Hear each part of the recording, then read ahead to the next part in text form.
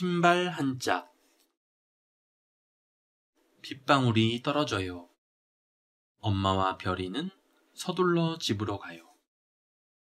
어? 그런데 별이 신발이 그만 땅으로 떨어지고 말았어요.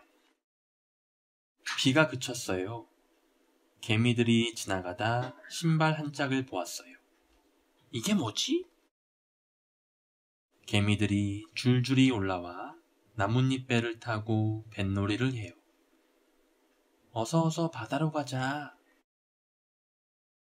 생쥐들이 지나가다 신발 한 짝을 보았어요. 쫄랑쫄랑 다가와서는 이게 뭐지? 찍찍.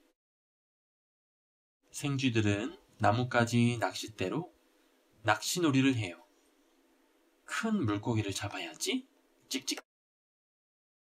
비둘기가 날아가다 신발 한 짝을 보았어요. 푸드덕 내려앉아서는 이게 뭐지?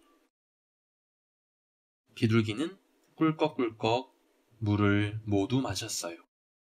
아, 시원해. 도마뱀들이 놀러 나왔다가 신발 한 짝을 보았어요. 이게 뭐지? 도마뱀들은 신발끈을 풀어서 썰매놀이를 해요. 쌩쌩 달려라 달려. 다람쥐가 나무에서 내려오다 신발 한 짝을 보았어요. 쪼르르 다가와서는 이게 뭐지? 다람쥐가 나뭇가지에 신발끈을 매어 슝슝 그네를 타요. 야호! 높이 높이 올라라. 그때 별이가 신발을 찾으러 왔어요. 여기 있었네, 내 신발.